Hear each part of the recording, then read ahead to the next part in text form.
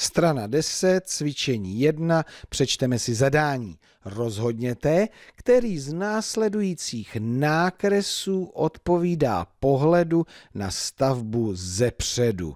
Takže vybíráme nákresy a díváme se na stavbu ze předu. Stavbu vidím zde, ono by bylo asi nejlepší, kdybyste si ji postavili sami z nějakých krychliček. Tak a díváme se na ní ze předu, když jim budete mít postavenou, tak se vám na to bude dívat lépe. No ale my ji máme tady nakreslenou, tak si to aspoň představíme. Tak, nákres A. Hmm. Tady mi vadí tohleto políčko nevybarvené, protože tady kostička je, no a v reálu, kdyby to tak bylo, a bylo by to, je to ze předu, tak by tohle to muselo spadnout. Tak, Bčko. Hmm, tady.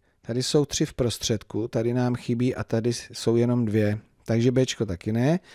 Cčko, to už tady odpovídá, tady jsou dvě, tady v tom prostředním sloupci tři, ale tady koukám, tady je jedna a tady nad tím ještě je jedna, takže ani to Cčko, takže to Dčko nám zůstalo.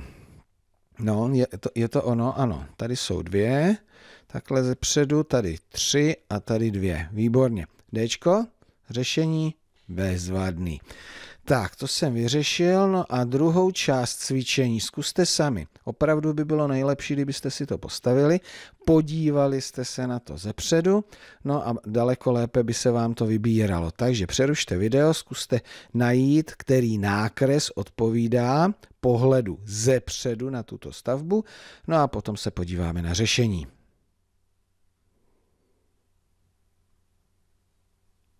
Tak, na co jste přišli? Pro mě je to G. Tady dvě, dvě a tady tři, pokud se dívám takhle ze předu. Máte stejný názor? Ano nebo ne? Podíváme se, co je správně. Je to správně.